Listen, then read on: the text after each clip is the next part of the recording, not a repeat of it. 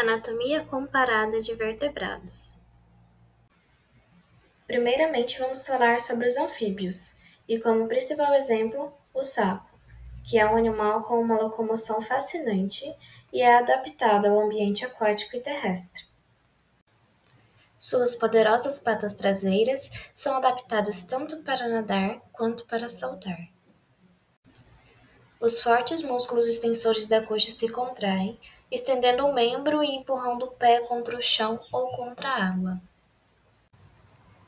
O impulso é transmitido através do corpo do sapo pela cintura pélvica e pela coluna vertebral, de modo que todo o animal é empurrado para frente.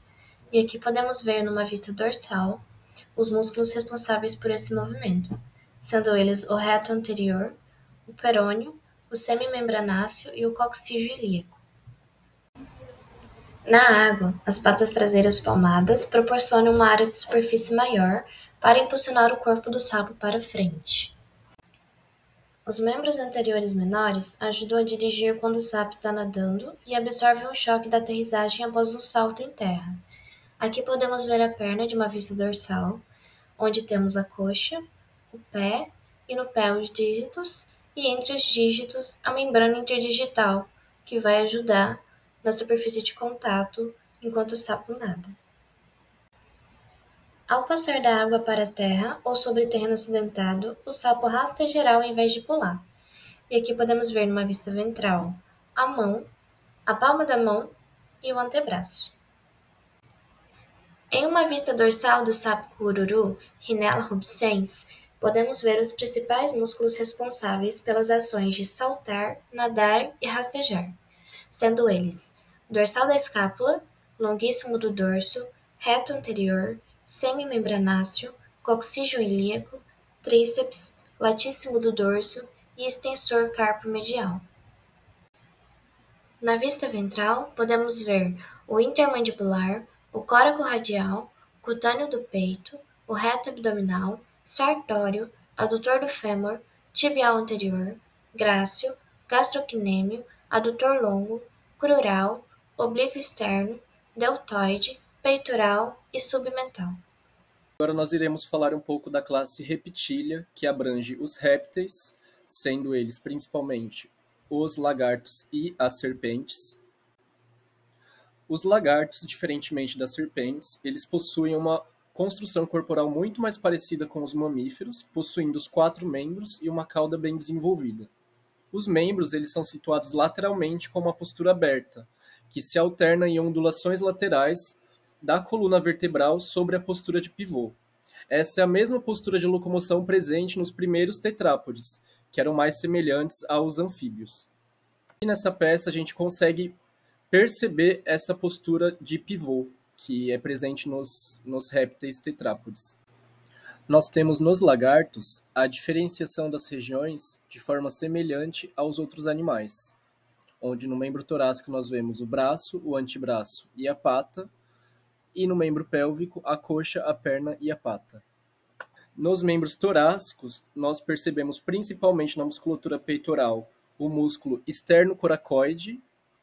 Já no braço, nós percebemos a musculatura do tríceps, do bíceps braquial, o músculo coracobraquial e o músculo braquial.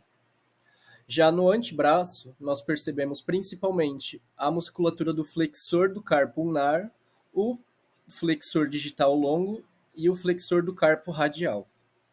Em uma vista lateral, nós percebemos a musculatura do trapézio, do músculo peitoral, o músculo oblíquo superficial, o músculo grande dorsal, o músculo longuíssimo dorsal e o músculo ilho costal. Já na musculatura dos membros pélvicos, nós vemos principalmente três grupos musculares, sendo o músculo ambiens, o pubo tibial e o pubo isquiotibial na coxa. Na perna, nós vemos o músculo tibial, o tibial anterior e o músculo gastrocnêmio, sendo o mais proeminente deles. Agora, falando das serpentes, com toda certeza são as que mais diferem das outras espécies animais, inclusive em comparação com os próprios lagartos. A ausência de membros e a necessidade de locomoção, em conjunto com a evolução, coibiram para que o arranjo das serpentes fossem complexos e diferentes entre as próprias espécies, pela forma que se locomovem e o ambiente em que vivem. Aqui nós temos duas formas de locomoção sendo mostradas nos vídeos, onde na primeira é por ondulação lateral, que é mais comum, e a segunda, presente em cobras maiores, que é a retilínea uniforme. Aqui nós temos, sob uma vista transversal, a musculatura do tronco de uma cascavel, crotalos duriços. Nós percebemos que a musculatura axial é muito desenvolvida devido à própria ausência dos apêndices, havendo em cada par de costelas uma musculatura axial proeminente. Já a musculatura epaxial e hipaxial se estendem ao longo das vértebras em um sistema de tendões e cadeias musculares, auxiliando na flexibilidade das serpentes.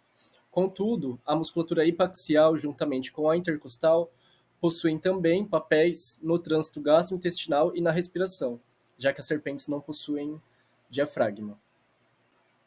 Nessa vista lateral, nós vemos a peça de uma surucucu pico de jaca, a laquesis muta, onde nós vemos principalmente quatro grupos musculares. O músculo espinhal, o longuíssimo dorsal, o ilho costal e o costo cutâneo, que tem papel fundamental na locomoção das serpentes. Sob essa vista dorsal de uma laquesis multa, nós percebemos a presença de costelas por todo o seu corpo, e abaixo uma pitomolurus demonstrando uma locomoção retilínea uniforme. Aqui nós percebemos mais uma adequação das serpentes, onde existe a ausência de ossatura external para que possam engolir os animais inteiros, já que não mastigam as presas, facilitando assim também o, o trânsito gastrointestinal, lembrando que a musculatura possui um papel fundamental nisso. Agora vamos falar dos mamíferos, especialmente o tamanduá-mirim. Tamanduá tetradáctilo. O tamanduá apresenta cinco dedos nos membros pélvicos, com unhas pontiagudas proporcionais. Já os membros torácicos são fortes e providos de poderosas garras. Devido suas grandes garras, o tamanduá caminha com elas voltadas para trás, apoiando seu peso sobre a parte superior da mão. O peso dos músculos do membro torácico é quase duas vezes maior que o do membro pélvico, evidenciando alta especialização em cavar. As costelas expandidas e os músculos intercostais robustos possuem duas funções durante as atividades fossoriais. Promover uma base estável intrínseca para proporcionar força nos ombros e membros torácicos e promover estabilidade adicional para a coluna vertebral suportar os membros. Em uma vista dorsal, podemos ver os principais músculos responsáveis pela atividade fossorial, que significa cavar. Ancônio, flexor digital do carpo, cabeça lateral do tríceps, cabeça escapular do tríceps, dorso espintroclear e trapézio. Os ombros e os membros torácicos dos tamanduás são morfologicamente adaptados para abrir paredes dos ninhos de cupim. O ângulo caudal expandido da escápula e o epicôndilo medial robusto estão relacionados aos bem desenvolvidos músculos redondo maior e flexor da mão, respectivamente. E de uma vista dorsal e ventral do tamanduá-mirim, podemos ver os dois principais músculos, músculo redondo maior e flexor da mão. E para finalizar, podemos ver os principais músculos do tamanduá, de uma vista dorsal, ancônio, trapézio, latíssimo dorsal, oblíquo do peito, tensor da fáscia e tríceps crural. E de uma vista ventral, trapézio, ancônio, flexor digital profundo e supinador. Podemos ver também a glândula salivar.